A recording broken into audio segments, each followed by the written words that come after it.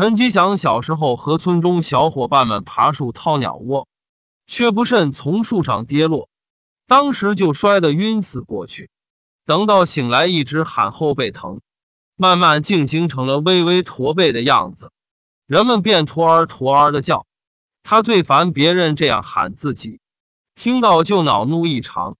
同时，他也为此付出了沉重的代价。年过三十尚未娶妻。人家姑娘不娶，妇人不嫁，只能眼睁睁看着同龄人娶妻生子，自己徒患奈何。虽然有着微微驼背的小缺点，可人却极为聪明。由于村子靠近大河，平时河上多有船只往来，南北奔波的游人会在此停靠，或歇脚，或看风景。既然有游人，便必定会有做小生意的人出现。时间久了，村边渐渐形成了小集市。大家好，这里是关山太保，我是主播于连州。如果喜欢我们的故事，那就订阅我们吧。接下去继续今天的故事。村中人靠水吃水，多数人平时种地，兼以捕鱼。陈吉祥小时候经常蹲在集市上看人们怎么赚钱，因为捕鱼之人不止他们村，还有别人过来捕鱼，大家都想捕过鱼后在集市上就地卖掉，操此营生者特别多。捕鱼者能得几何，全看当天运气怎么样。运气好了，捕得多一些，便能多赚几文；假如是运气不好，空网或者捕的极少，那便只能是白白忙碌。思来想去，他决定赚这些捕鱼人的钱。寻常人捕鱼，多站在岸边，拿着撒网向河里撒。可岸边人多，声音嘈杂，鱼大多会躲离岸边，所以收获并不多。况且大鱼本就喜欢水深的地方，想要捕到大鱼。必须到河水深处，但怎么去？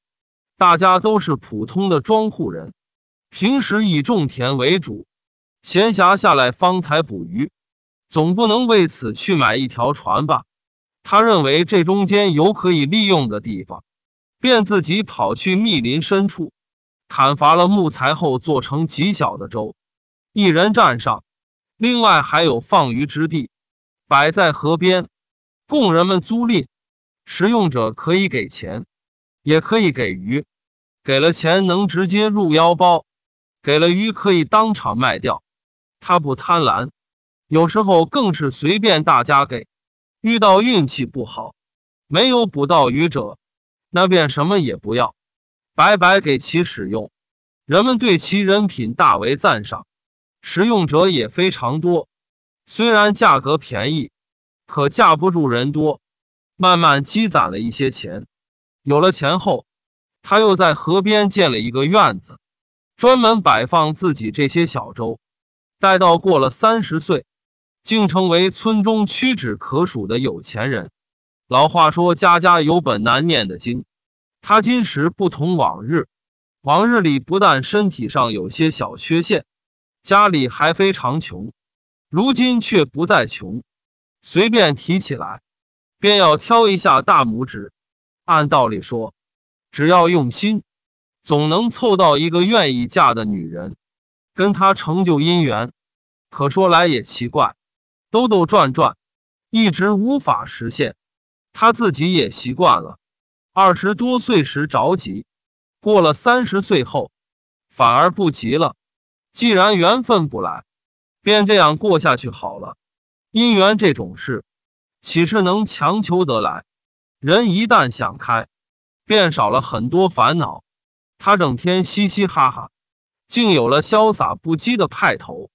正值夏天，五黄六月，热的人不想出门。正午时，河上捕鱼者并不多。陈吉祥躺在竹椅上，拿着把荷叶扇，边摇动边逗耍一只母兔。此母兔是他偶然所得。一年之前，天降大雨，河水暴涨，捕鱼者非常多，租赁他小舟的人自然也多。等到傍晚还舟时，他发现有人不仅提着鱼，还提着几只兔子。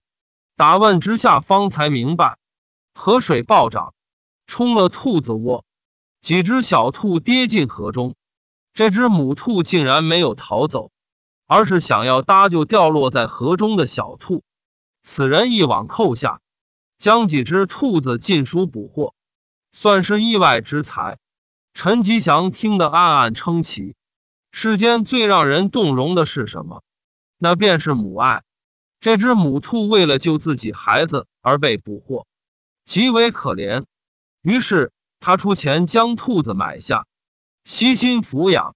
小兔子长大后相继离开，这只母兔却留了下来。陈吉祥对这只兔子极为喜爱，时常逗耍为乐。正高兴时，外面有人喊兄长。不用睁眼，他便知道来者是自己的堂弟陈吉勇。此人二十岁，游手好闲，父亲早亡，母亲将他拉扯成人。可人穷志也短，长大后的他不是生产，跟一帮酒肉朋友呼啸往来，惹得人人讨厌。这么热的天，他不在家休息，却跑到河边来找自己，定然没有什么好事。陈吉勇脸上全是笑，到了竹椅边蹲下，伸手夺过陈吉祥手中的扇子，边扇动边说道：“兄长救我！”陈吉祥叹了口气，睁开眼睛看着自己这个堂弟，问道：“你又惹了什么祸？”陈吉勇嘿嘿一笑，挠着头说：“想要借钱，怎么回事呢？”据他所说，自己借钱不是要干什么坏事。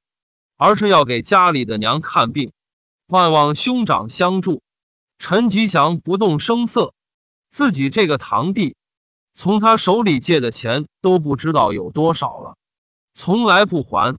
人们常说救急不救穷，他这般不是生产，没有个来钱的营生，只靠借，自己又能帮他到什么时候？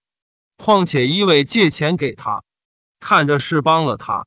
实际上却是害了他，这会使他产生惰性。陈吉勇也知道堂哥烦自己，但他断定，只要自己搬出老娘来，堂哥必定会借给自己。不过这次却出乎了他的预料，陈吉祥摇头便拒绝了。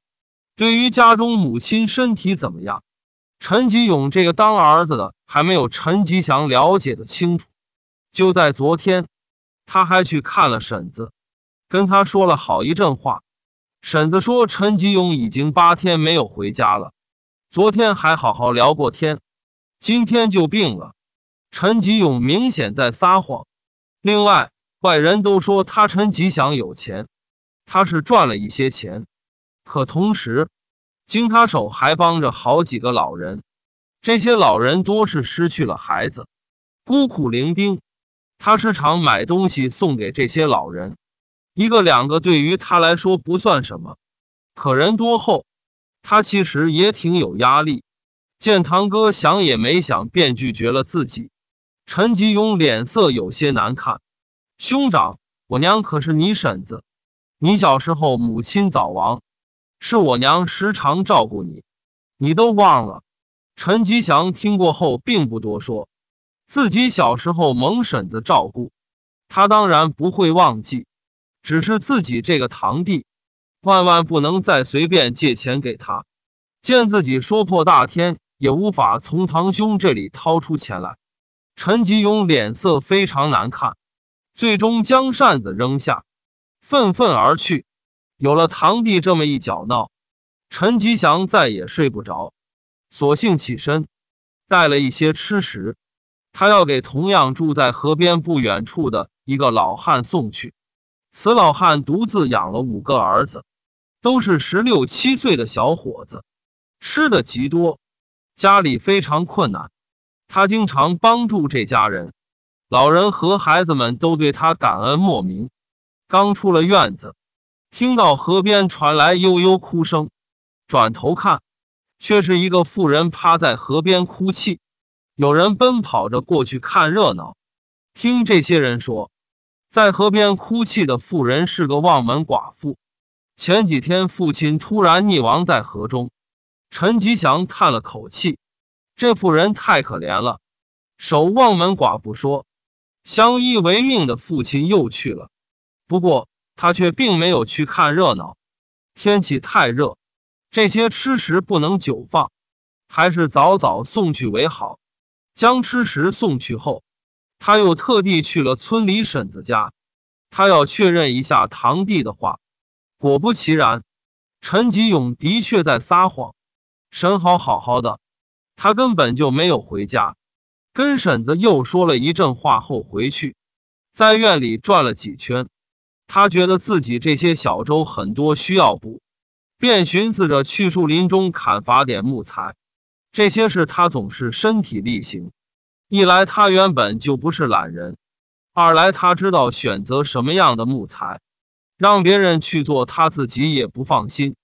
他心劲大，想到后就急着去。拿着斧头和锯子，刚出门，就见有个满脸麻子的人来找。此人他并不认识，见他疑惑，马脸慌里慌张，说：“陈吉勇惹了大祸，急需他去一趟，否则陈吉勇就会大祸临头。”陈吉祥赶紧问是怎么回事。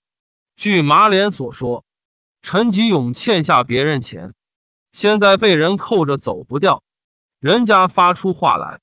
如果陈吉勇拿不出钱，便会砍掉他一只手。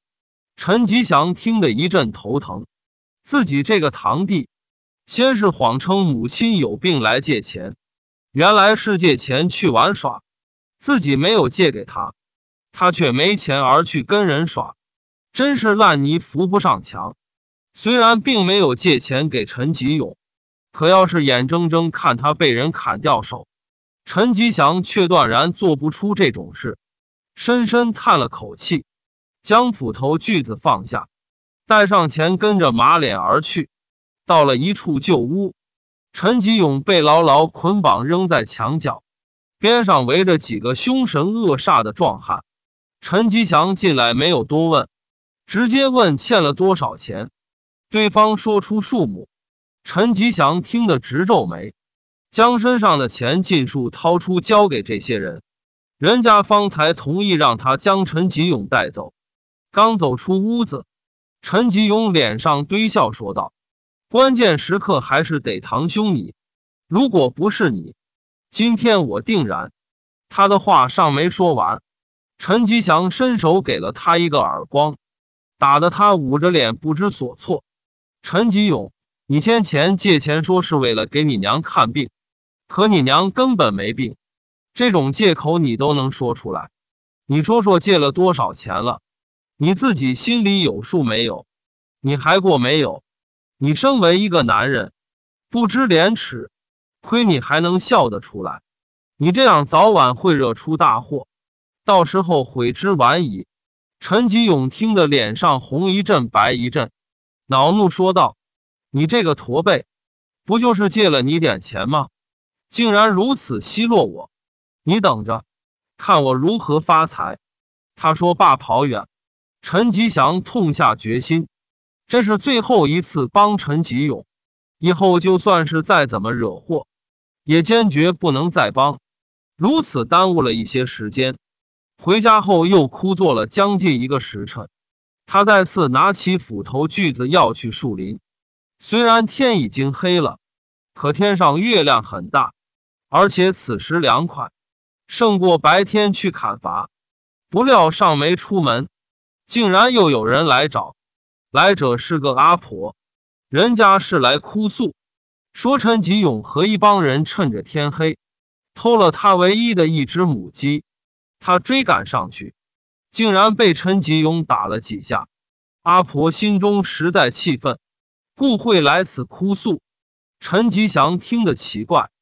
陈吉勇和一帮人偷鸡，一帮什么人？阿婆断然不会说谎，人家没必要去栽赃。最为恶劣的是，他们偷阿婆的母鸡，阿婆追赶，他们竟然还打阿婆，这是人能干出来的事吗？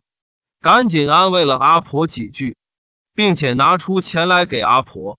阿婆坚决不要，并且说道：“吉祥啊，婆婆知道你好心，可你这个堂弟可不是什么好人。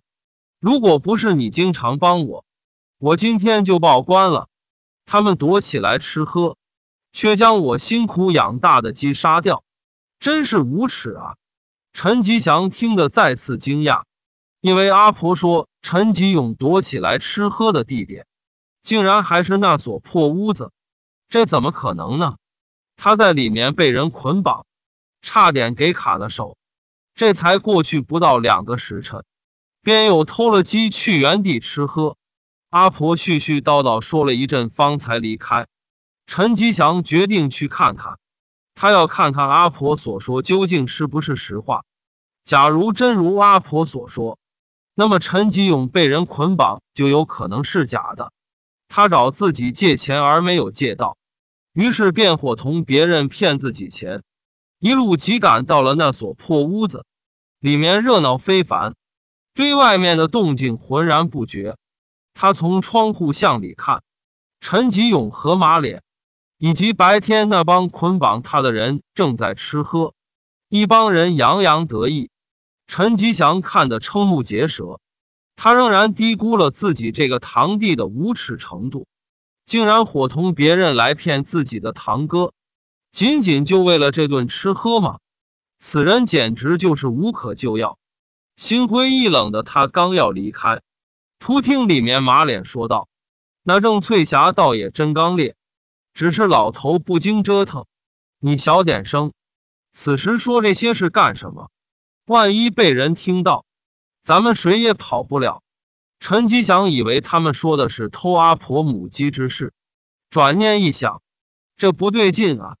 马脸提到了妇人，还有个老头，阿婆当然不能称妇人。另外，老头是谁？他尚在疑惑。里面的马脸又说道：“怕什么？那件事不会有人知道。咱们可说好了，一旦郑翠霞上钩，一顿好吃的不能少。”陈吉祥根本听不懂这些人在说什么，不过他知道不会是好事。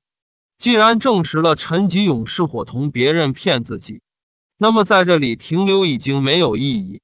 他悄悄退了出去，手上提着斧头和锯，直奔树林。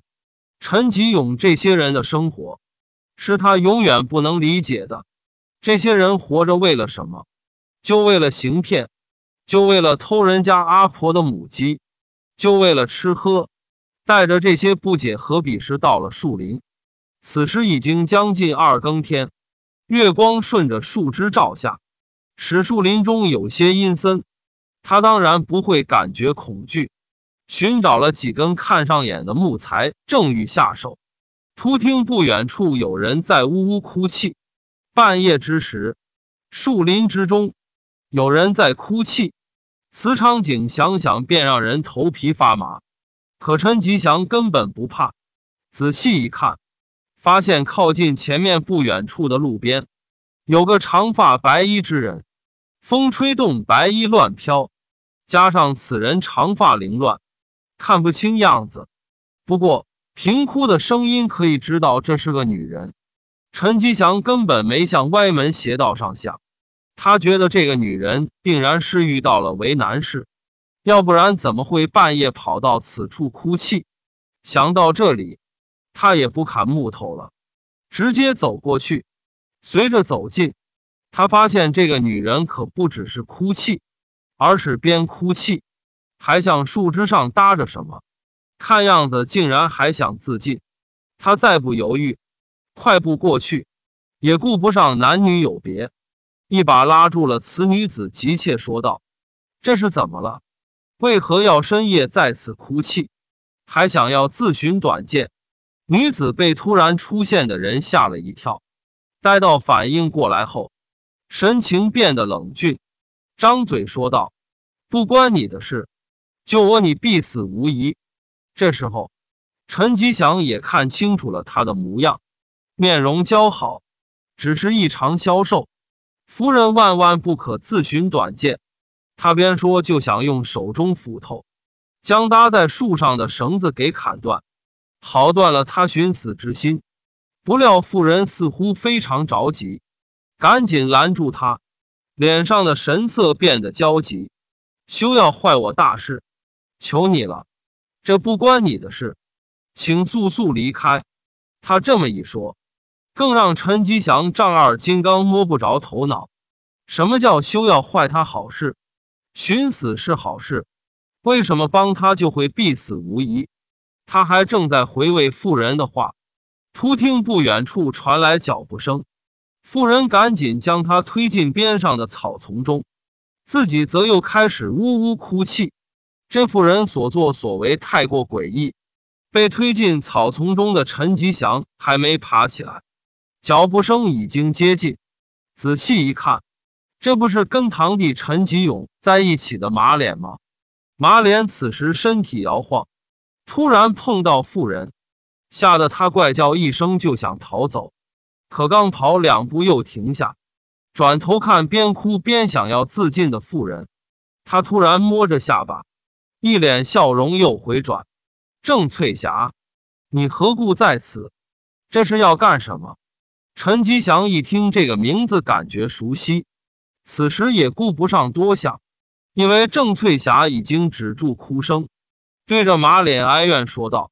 李大彪以为我不知道，其实是他将我爹害死，还想要毁了我的名声。我一个守了几年望门寡的女子，能有什么办法？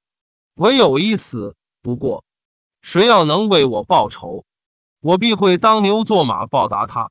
听了郑翠霞的话，陈吉祥猛想起来，中午时有人在河边哭泣，听人说是个守了望门寡的妇人。因为爹淹死在河中而哭泣，而他的这个名字也在马脸和陈吉勇他们饮酒时提及过。马脸听后也不知道想到了什么，嬉皮笑脸说道：“你竟然知道你爹是被李大彪所害，不过为什么要寻死呢？我可以帮你，但说好了，既然要帮，你就得付出点代价。”郑翠霞连连点头。马脸笑得更加猥琐，带着郑翠霞一起离开。陈吉祥虽然有些驼背，可是他极为聪明，仅仅凭着眼前之事以及之前模糊的线索，便理清了此间关系。这个叫郑翠霞的妇人，被一个叫李大彪的人纠缠，而李大彪就是跟马脸以及陈吉勇在一起的所谓朋友。郑翠霞不从李大彪，他父亲更是找到李大彪要取个公道。不料李大彪这些人坏事做绝，竟把郑翠霞的父亲淹死河中。郑翠霞想要为父报仇，但她一个弱女子，如何是李大彪的对手？所以她想要利用马脸。怪不得他会说休要坏他好事，怪不得他特意选在此地哭泣。并且装出一副想要寻死的样子，他就是在等马脸。可是妇人毕竟是妇人，不管他打算的多么好，最终只能上了马脸的当。他这是在与虎谋皮，这可怎么办呢？如果就此走掉，当然不会有任何麻烦。可如果真就此走掉，郑翠霞定然会掉入火坑。思来想去。他在后面悄悄跟了上去，马脸的家就在不远处。他带着郑翠霞回家要干什么？这是不言而喻的。看郑翠霞的态度，他是下定决心要这样做，为此不惜搭上自己的名声。如果自己贸然搭救，他会不会因此恼怒？将郑翠霞带到家中后，马脸突然一巴掌打在他的脸上。郑翠霞被打的原地转了个圈时，马脸已经拿出绳子将她捆绑。哈哈，你觉得自己挺聪明，想用此方法让我和李大彪反目成仇？你好报父亲的大仇，真是瞎了你的眼！我马脸岂是如此好骗之人？不过既然你送上门，我也不会客气。他边说边笑，要将郑翠霞抱起。外面的陈吉祥再没有犹豫，一脚踢开房门。马脸转头，嘴里惊讶出声：“陈吉祥，你要干什么？赶紧滚！”话没有说完，陈吉祥用手中的斧背重重拍了过来，见马脸晕倒在地，他扛起郑翠霞便跑，一口气跑到自己家中，这才将他身上绳子解开，累得瘫软在椅子上呼呼直喘。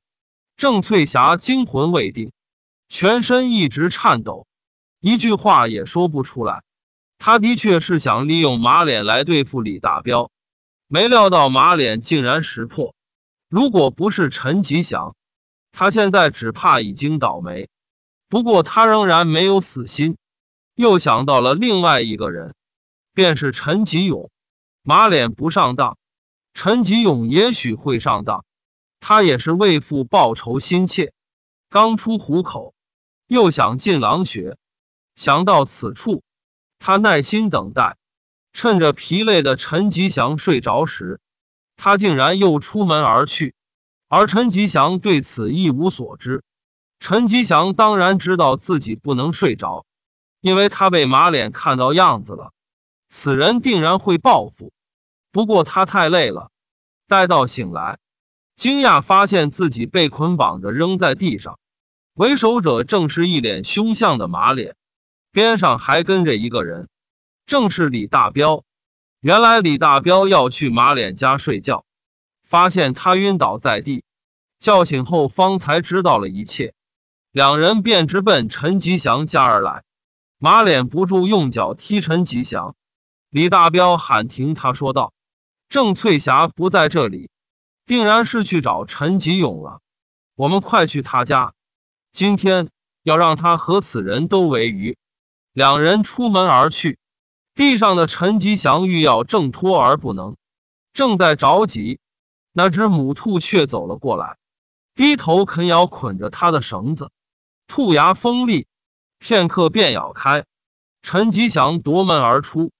郑翠霞的确在陈吉勇家，而且几乎是同样的遭遇，被陈吉勇给捆绑了起来。就在陈吉勇欲做坏事时，却被母亲给拦住。娘俩正在争吵，马脸和李大彪到了。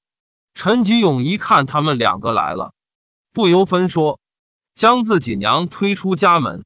被捆绑着的郑翠霞看着李大彪，两眼圆睁，几乎要瞪出血来。李大彪，你这几年多次骚扰我爹，找你理论，你竟然将他淹死河中，我这辈子都不会放过你。李大彪听得哈哈大笑，他觉得郑翠霞愤怒的样子很有意思。人在得意之下，总是会不自觉说出自己认为得意的事。李大彪更是如此，他盯着郑翠霞，恶狠狠说道：“郑翠霞，你一个连出嫁都没有出嫁的人，却一直守着，你守什么？这几年你死活不从。”敬酒不吃吃罚酒，可笑你那个爹，竟然还想教训我！他不死谁死？你说你这辈子不会放过我，让我来告诉你，你这辈子马上就要完了。不仅是你，还有帮你的陈吉祥，你们也算是在路上有个伴。陈吉勇当然知道李大彪的狠辣，听到还有自己堂哥，他先是愣了愣。接着赶紧说道：“如果陈吉祥不见了，他的那个租赁铺子可得算我的。”三个人哈哈大笑之际，门外有人说话：“陈吉勇，你好狠的心！我可是你的堂兄，世界前无数给你的人。”说话者正是陈吉祥。三人见状，不由得凶相毕露，正欲欺身向前，陈吉祥向一边躲。后面跟着七八个小伙子，个个精壮，对着他们三个便围了过来。他们三个哪里是这些小伙子的对手？片刻后被制服，形势急速逆转。现在轮到他们三个傻眼了。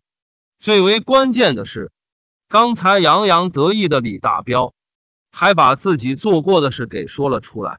这里的人都可以作证，他显然没有料到。被绳子捆绑着的陈吉祥会这么快挣脱，而且此时是半夜，他哪里找来这么些帮手？他当然不会知道是兔子帮陈吉祥咬断了绳子，而这些小伙子，其中五个是陈吉祥经常帮助的老汉儿子，另外三个是他们的玩伴。陈吉祥帮过他们家太多次，他有难了，一句话，小伙子们便跟着他来。上刀山下油锅而不含糊。陈吉勇刚才的话让陈吉祥很伤心，他也没帮着说话。而陈吉勇的母亲也对他失望至极，看着儿子被带走，他连求也没求一声。郑翠霞两次被陈吉祥所救，她当年没出嫁便死了丈夫，而陈吉祥至今没娶，有心人在中间穿线，使两人成就了姻缘。成婚后，陈吉祥将婶子接了过来，陈吉勇被关，他要给婶子养老送终。至于那只母兔，说来奇怪，自从陈吉祥和郑翠霞成婚后，他便不见了踪影，从此再没有回来过。诸位，陈吉祥因为少年顽劣而付出了沉重的代价，变成了一个巍巍驼背之人。谁能料到，他竟会因此耽误人生大事，连个媳妇也没有娶上？如此打击！一般人定会对别人充满愤恨，可陈吉祥没有，他乐于助人，见到人有困难了，总是会出手帮助。他看到兔子可怜而买下，最终兔子帮他咬断了绳子。他见老汉养五个儿子不容易，便经常送去吃食。最终老汉的五个儿子帮他捉住了李大彪三人。他见郑翠霞欲要以身饲虎。更是两次相救，最终和郑翠霞成就了姻缘。所以你看，他善良的付出，最终都得到了回应。当别人看到他独自一人，却毫不吝啬用钱帮助别人时，定然会有人说他傻。可是他真的傻吗？当然不是，他只是心地太过善良罢了。而且这样的善良不应该被嘲笑。这是可贵的品质。一个有着如此可贵品质的人，他微微驼背算得了什么？他比很多腰背挺直之人要站得端正得多。比如陈吉勇，比如李大彪和马脸。所以不要去嘲笑善良，更不要阴阳怪气去讽刺。当你付出后，也许并不会马上得到回报。就如同那些做了坏事而逍遥之人，他们觉得自己不会受到惩罚，其实回报和惩罚都会显现，只不过需要时间去证明。您觉得呢？好了，今天的故事就讲到这里，喜欢的话请给我点个赞，别忘了订阅和分享，谢谢你的支持。